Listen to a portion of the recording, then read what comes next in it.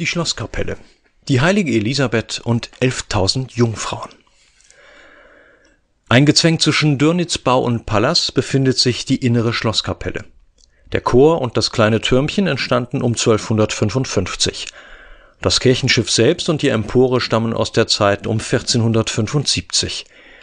Der Übergang von dem romanischen zum gotischen Baustil ist an verschiedenen Stellen gut zu erkennen bei Renovierungsarbeiten 1915 konnte man an den Chorfenstern mittelalterliche Fresken freilegen.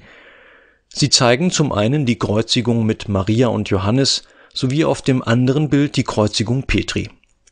Am Triumphbogen kam damals die Darstellung der klugen und törichten Jungfrauen zum Vorschein. Ob hier tatsächlich 11.000 Mädchen abgebildet sind, wie es die Überlieferung behauptet, ist eher zu bezweifeln der gotische Flügelaltar entstand um 1524 und ist ein Werk aus der Salzburger Schule. Er zeigt in der Mitte die Figur des heiligen Dionysus.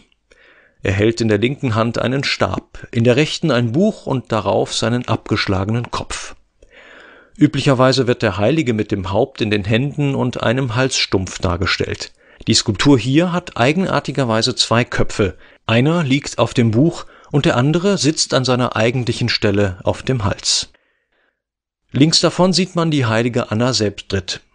Dem Jesuskind werden Birnen gereicht, rechts steht die heilige Barbara.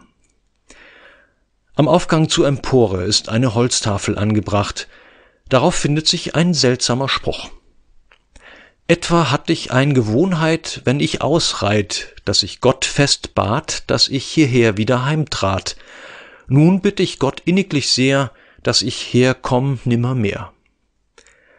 Verfasser dieser Zeilen war Ritter Hans von Drenbeck, der der Herzogin Margarete viele Jahrzehnte als Oberhofmeister gedient hatte.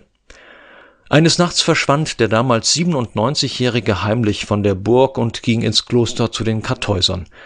Vor seinem Abschied schrieb er diese Zeilen. Der Herrgott schenkte dem Ritter noch weitere 18 Jahre.